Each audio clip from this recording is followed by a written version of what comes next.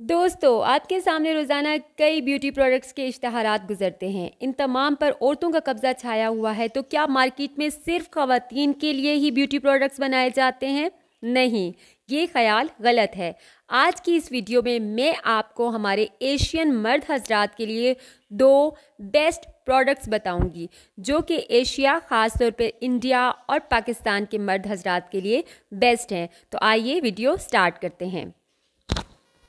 Screen पर नज़र आने वाली इस क्रीम का नाम है नीविया फॉर मैन और अगर आप कॉर्नर पर देखें तो छोटा सा ऑरेंज कलर का टैग लगा हुआ है, जिस पर लिखा हुआ है यूवी यानी कि अल्ट्रा वायलेंट शॉ से भी ये क्रीम स्किन को बचाती है। मर्द हजरात रोज़ाना शेव करते हैं, उसकी वजह से उनकी स्किन बहुत ज़्यादा सख्त हो जाती है। और स्किन के अंदर जो नमी है वो बिल्कुल ख़त्म हो चुकी होती है। इस क्रीम का सबसे अच्छा काम ये है कि ये स्किन को सॉफ्ट कर देती है और स्किन के अंदर की जो नमी ख़त्म हो चुकी होती है, उसको दोबारा से बहाल कर देती है। सूरज की शुआओं से जब आपकी स्किन बचती है तो आपके कलर कम्प्लेक्शन पर भी बहुत अच्छा असर पड़ता है और आपकी रंगत निखर जाती है। इस क्रीम के रोज़ाना इस्तेमाल से ना सिर्फ़ आपकी रंगत बेहतर होगी, बल्कि आपके चेहरे पर एक निखार आएगा, जल्द पर एक कुदरती चमक पैदा होगी। इसका इस्तेमाल इंतहाई आसान है। आपने सुबह उठ के मुँह हाथ धोने के बाद अच्छी तरह अपनी जल्द को खुश्क करना है और फिर इस क्रीम को अपने चेहरे पर अप्लाई करके हल्का हल्का मसाज करना है और चेहरे पर जज्ब कर लेना है।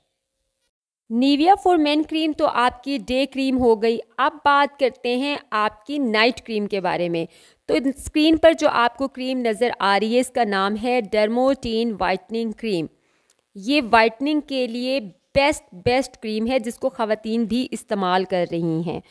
आपने रोज़ाना रात को सोने से पहले अपने चेहरे को अच्छी तरह से धोना है खुश कर लेना है और उसके बाद सिर्फ़ एक मटर के दाने के बराबर इस क्रीम को लेकर अपने पूरे फेस पर लगाना है और सो जाना है। आप देखेंगे कि कुछ दिनों के इस्तेमाल के बाद ही आपकी रंगत बेहतर होना शुरू हो जाएगी।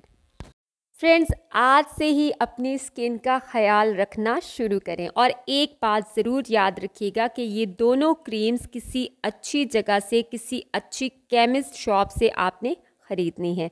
आई होप आपको आज की वीडियो अच्छी लगी होगी। अल्लाह हाफिज़।